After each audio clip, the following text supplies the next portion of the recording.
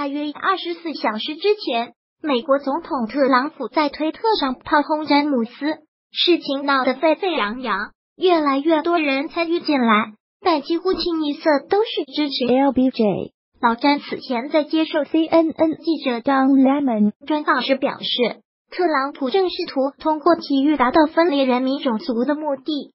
随后，特朗普在个人推特上回应，勒布朗詹姆斯在电视上接受了最蠢人的采访。Don Lemon 让勒布朗看起来还挺聪明的，这点并不容易做到讽刺詹姆斯。另外，我喜欢迈克尔乔丹。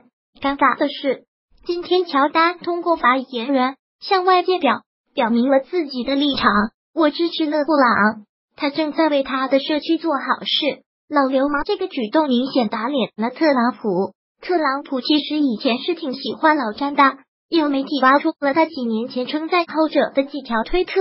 詹姆斯是一个杰出的球员，一个好人。现在就是勒布朗的时代，恭喜詹姆斯获得 SB 最佳运动员奖。然而。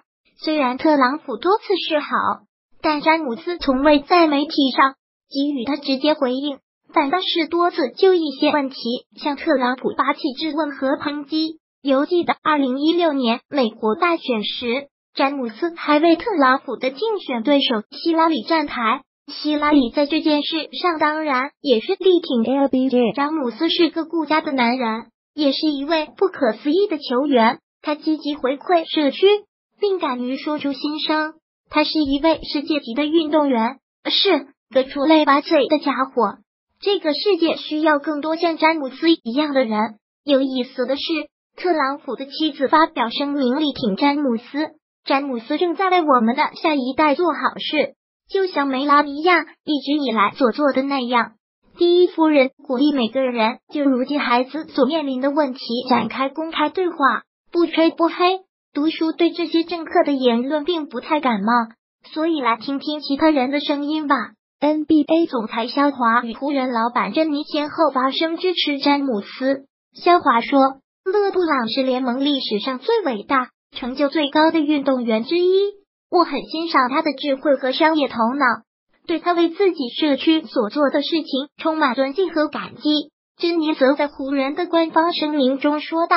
我们为他的能成为湖人大家庭一员感到骄傲。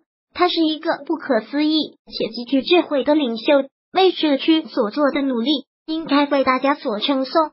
此外，米切尔、雷阿伦、唐斯、比尔等现役、退役 NBA 球员都站出来声援詹姆斯，就连死敌库里也发推：“继续做你自己吧。”詹姆斯，NBA 大家庭在这个时刻展现了大团结。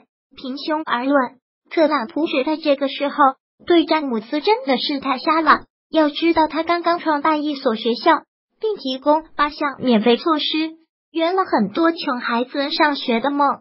这回特朗普真是摊上大事了。读书对政治不懂，但可以确认的一点是，特朗普绝对是史上和体育演艺明星关系最差的美国总统。对了。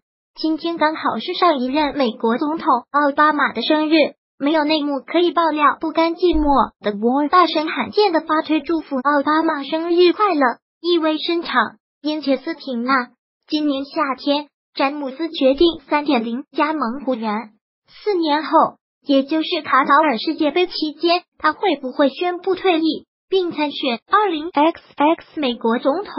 让我们拭目以待。至少在这一点上。读书和尼克杨同一档，百分之九十五点二七的人都在今日头条看篮球有毒。回复女球迷带你开车带你飞，你懂的。本周回复球星还可获得球星 T 恤，仅限十名。